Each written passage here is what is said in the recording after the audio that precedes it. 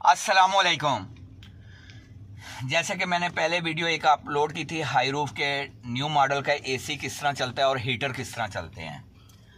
अब ये पुराना मॉडल है, इसके बारे में भी मैं आपको भाइयों को मालूम दे दूँ, क्योंकि कुछ मेरे भाई न्यू मॉडल गाड़ी चला रहे होते हैं, लेकिन पुराने मॉडल के फ़ंक्शन के बारे में नहीं पता, उसके लिए स्पेशल वीडियो है। इसका ये जो बटन है ऊपर पे, बाई साइड पे ये देख रहे हैं, ये रूम का है, अंदर वाली लाइट का, ये मैंने दबा दिया और छत वाली लाइट चल पड़ी है। और इस बटन को दबा दिया तो ये ऑफ़ हो गई है। अब मेरा वीडियो बनाने का मकसद ये है कि मौसम के हिसाब से कभी एसी चलता है, कभी हीटर चलते हैं तो उनके लिए फ़ंक्शन क्या है?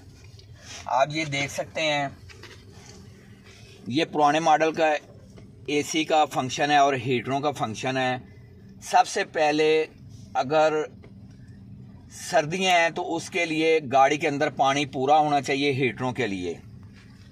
पानी चेक करना चाहिए लाजमी। ये अब सबसे पहले हमने एसी चलाना है। जब गाड़ी हम स्टार्ट करेंगे, एक डेढ़ मिनट बाद इसका फ़ंक्शन ऑन हो जाएगा ऑटोमेटिक। सबसे पहले ये देखें, फ़ैन को ऑन कर लेना है, क्योंकि ये ज़्यादा और ये कम स्पीड के लिए। ये हमने एसी चलाना है तो ये एसी का बटन हमने दबा देना है।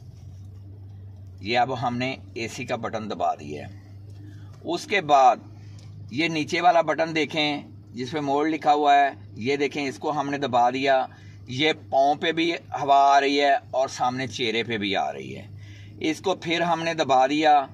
ये देखें तो ये डैशबोर्ड के आगे ये जहाँ डिफोकर, यानी कि अंदर जो डिफोक होती है, जो शीशा धुंधलापन हो जाता है, उसको साफ़ करने के लिए है। इसको अगर हमने दबा दिया है, ये फिर जो है चेहरे पे आ गई हवा। अब ये खाली पाँव के साथ, ये खाली पाँव के, पाँव पर हवा आ रही है। अब हमने मौसम के हिसाब से इसकी कूलिंग टेम्परेचर करना है। ये देखें, ये टेम्परेचर कम और ज़्यादा हो रहा है। ये नीचे, ऊपर को ज़्यादा और नीचे को ये लो हो रहा है। ये इससे कम हो जाएगा। ये आप देख रहे हैं। ये रेयर है बैक साइड पे ये पंखा कूलिंग के लिए।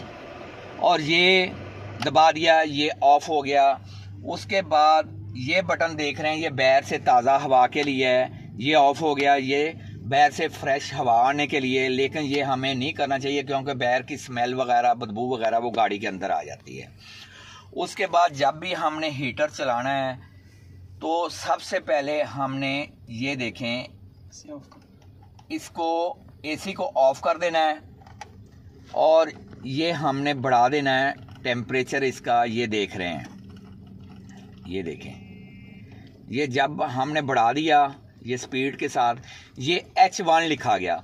अब हमारा हीटर ऑन हो गया है। अब हमारा हीटर ऑन हो गया है उसके बाद ये आप देख सकते हैं कि सर्दियों के अंदर, धुंध के अंदर, ये डिफोक के ऊपर, ये शीशा अक्सर धुंधला हो जाता है। इसको हम दबा देंगे, ये फ्रंट से हवा आती रहेगी। अगर स्पीड के साथ करना है तो ये तेज़ी के साथ इसको दबाएँगे या इससे कम हो जाएगी। ठीक है जी? ये देखें। इसको दबा दिया, ये ज़्यादा हो गई और इसके साथ कम हो गई हवा। उसके बाद ये रेयर ये बैक स्क्रीन के लिए है। वहाँ पे हवा के साथ शीशा साफ़ हो जाता है और इसके साथ ये सिस्टम ऑफ़ हो गया जी। अब हमने अगर बैक साइड पे जो हीटर है उसको ऑन करना है तो सबसे पहले हमने कौन सी चीज़ की एहतियात करनी है आए मेरे साथ हम आपको दिखाते हैं। सीट के नीचे। ये सीट के नीचे वाले हीटर पीछे वाले चलने शुरू हो गए जी। ठीक हो गया जी राइट आपने बता दिया और ये नीचे को हम ऑफ़ कर देंगे जी।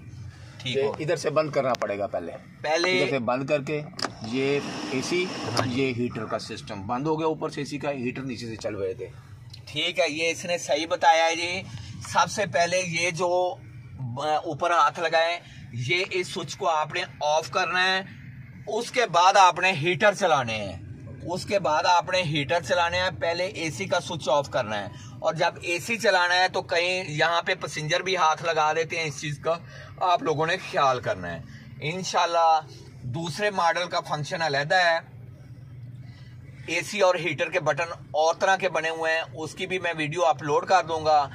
बाकी मेरे चैनल को सब्सक्राइब करें लाइक करें और दुआओं में याद रखें। शुक्रिया।